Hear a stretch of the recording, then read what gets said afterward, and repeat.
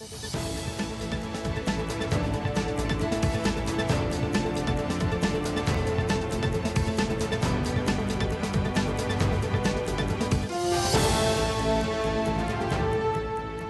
е посветил нас в 8 сутринта, веднага към брифинга в Планинската спасителна служба. Отряд Банско, които са били в ски зона Банско в момента, се отзовават на помощ, но за съжаление успяват само да констатират смъртта. Предприемат откопаване и бързо изнасяне на тялото от лавиноопасния улей, който продължава да бъде лавиноопасен.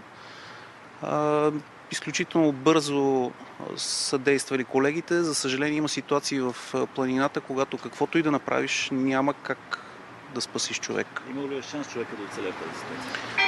В а, тази ситуация по-скоро не, защото откъсването на лавината е с фронт около 150 метра. Дебелината на снежната покривка на откъсването е между 50 и 120 см, което е огромна маса. Хода на лавината е от порядъка на километър. Трябва ли да се намира там човек всъщност? В тези условия, в този момент по никакъв начин. За съжаление, страшно много информация има от последните дни, страшно много индикации има в планината, че е изключително лавиноопасно, непрекъснато се променя обстановката. Така че по-скоро в такъв момент хората трябва да бъдат изключително предпазливи, да не се поддават на емоциите, на желанието за фрирайд и за такива изживявания, което всъщност горещо ги съветваме. Забранена зона ли е това, където се намирали те? По принцип е Национален парк Пирин, да. Там е забранен такъв тип дейност. Знам, че момчето се е било добре контрол? екипирано с пипси, с airbag. Това не, не му ли е помогнало? Да, момчето е с всичко необходимо за пребиваване в зимната планина, като почнете от лавинна раница, лавинен уред, сонда, лопата, всичко необходимо. Каска, за съжаление, това, което говорим и по курсове, и навсякъде, че тези съоръжения не ни правят безсмъртни, те не могат да ни спасат. Те могат да дадат някакъв минимален шанс нещата да се развият по друг начин, но когато става дума за такъв терен, за толкова масивна лавина, за толкова тежка лавина, нищо не помага. Има две-три уръдия, които са за контролирано сваляне на лавини там на място. Кога за последно извършена такава процедура за сваляне на лавините? Имате информация? Не мога да кажа кога последно е използвана, но знам, че цяла зима се използва системата. А, даже в горната част на улиите на практика е почти заледен склона и няма никакъв пресен сняг. Всичко се случва около 150 метра или до 200 метра от началото на улия в долната част, където всъщност има огромна навявка, която всъщност се е откъснала. Има ли как да се осъществява някакъв контрол там, за да няма подобни инциденти и такива млади скиори да не, се, да не попадат в такива зони всъщност? След като се обърне каруцата, пъти ще има страшно много, но аз бих казал, че тези, този проблем всъщност не трябва да се решава с забрани и рестрикции. Трябва да има разбиране, трябва да има ясна политика на, на действия в тези терени, защото сами наблюдавате вероятно, че цялата индустрия в зимната ски мода, в крайна сметка, е страшно насочена към фрирайд конкретно.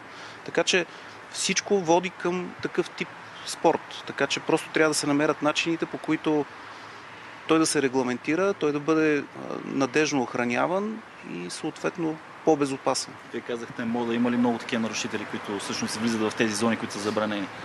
Непрекъснато е това. Непрекъснато. Включително и вчера, малко преди този инцидент, имаше също такъв инцидент в чашата на Ечмище в Банско, също с откъсната лавина. Слава Богу, без затрупани, но това е чист късмет. Нищо повече.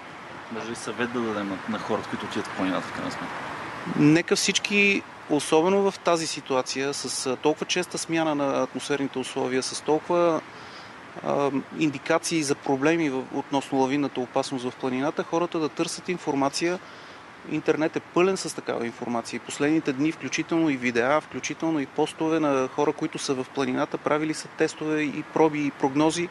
Всички говорят едно и също. Много опасно в момента, просто не трябва да бъдем там. Кой по какъв начин налага санкции за тези хора, всъщност, които нарушават правилата? Не мога да ви кажа. Не зная. А какво показва световната практика? Как в, по света карат фрирайд?